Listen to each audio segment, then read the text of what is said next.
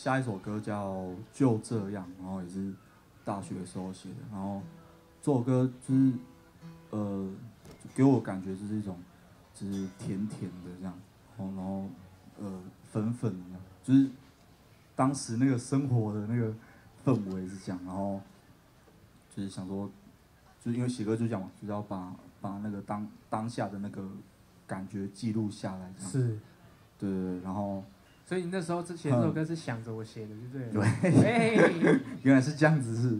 是是是，哇哇，这被发现了，现在。对对对，大概就是这样的感觉。我们我们两个虽然是就是就是都在玩在一起这样，可是其实我们大学是不同的不同大学。嗯，他在他在东华念就是就是念东华大学，嗯，对，然后他在高雄中山大学，对对对，这样，对，就是所以就中间有隔一座山这样。对，然后所以我们在平常在写歌或是练团的时候，其实我们练团都是遇到才会练的。嗯。然后写歌的时候，我们都是，譬如说，他今天写了一个词，然后丢给我，嗯，然后我就揣摩他的想法，然后就丢回来，就丢回来，这样就丢来丢去，对啊，对，然后这首歌就这样完成了，这样，嗯。对，有的时候是他自己写完，有时候是我自己先写完，这样，所以就是那时候觉得，那时候就觉得这样这样这样玩音乐很好玩。嗯然后每天就是期待，就是如果有在做音乐的话，就是每天就是期待有 有新的东西出来，哦好不好不是不是什么期待什么他密我还是什么，期待？他的出现之类的。越讲越奇怪呢，我们怎么会这样？你离我远一点好了。好了好了，对，然后对，大概就是我们的我们的创作模式大概是这样。嗯对，以前是因为身份都一样，都是学生，所以譬如说大家考试时间都一样，所以出去表演然后是比赛都会有一个正常的时间，大家可以弄得出来这样。嗯啊，现在就是我是社会人士，他也是学生，嗯所以就是以后不知道还会还有没有机会，就是可以这么常常玩在一起。嗯，怎么突然变很感伤的那种气氛？